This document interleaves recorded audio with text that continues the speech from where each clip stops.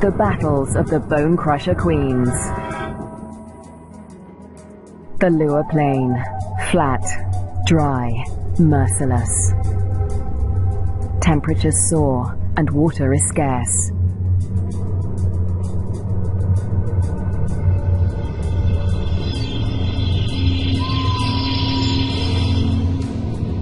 When the rains come, a wildebeest migration will flood into Liuwa Plain, but for now, only a few hardy adults stir the dust.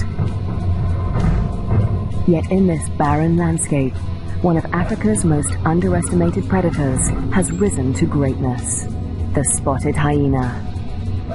Spotted hyenas are extraordinary survivors. Their powerful jaws crush through bone, and their cast iron stomachs digest even rotting meat. Yet in many regions, these bone crushers hunt far more often than they scavenge. Female spotted hyenas are remarkable amongst mammals. They are larger, stronger, and fiercer than male hyenas. And they have the most male-like sexual organs of any female mammal. This bizarrely elongated organ was once thought to be a product of high testosterone levels in the womb, but today it continues to mystify scientists. The female hyenas govern the clans, led by all-powerful matriarchs. Neighboring clans are sworn enemies, and territorial trespassers are often viciously attacked. This story begins in Zambia, in the Liuwa Plain National Park, where spotted hyenas reign as the top predators. In the heart of the park is a thriving hyena clan. The clan's leader, the matriarch, lures her youngest cub from a burrow. It's a tiny female named Nasanta, and today the little cub meets her clan for the first time. For two weeks, the newborn lay hidden in a burrow away from this main den, but now she is old enough to join the clan. Nasanta raises her leg in the typical hyena greeting allowing her clanmates to identify her distinctive scent. The clan will recognize her by this smell, and she in turn must learn to recognize theirs.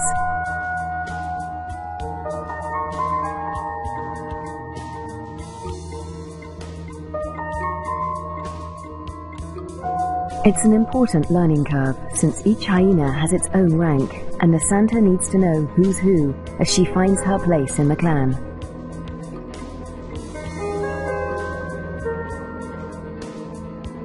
Fortunately, when it comes to rank, Nasanta has a head start. She and her twin sister get more than just milk from their mother. As cubs, they also inherit her superior status. As the matriarch, their mother ranks highest in the clan and enjoys the support and protection of all of the clan's dominant females. Nobody dares to confront her or her cubs. But not all hyenas live such charmed lives. Four kilometers to the southwest is another clan, Nasanta's clan's greatest rival. This clan abounds with cubs, most are the offspring of the high-ranking females, but one among them is different. His name is Twambo, and he is the son of a low-ranking female. Like Nasanta, Twambo inherits his mother's rank, but this time, it's not a blessing. Low-ranking hyenas are often bullied by the clan, and with his mother's rank, Twambo will be a target. His mother will care for him, but she won't dare to defend him from the more dominant females, or their cubs. Behind her lies Twambo's father. He's the alpha male, the top-ranking male in the clan.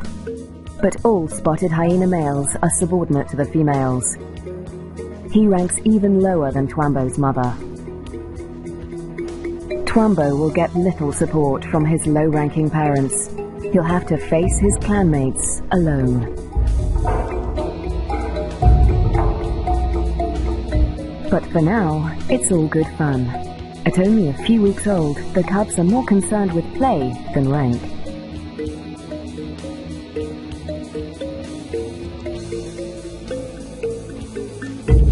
For Twambo, the worst is yet to come.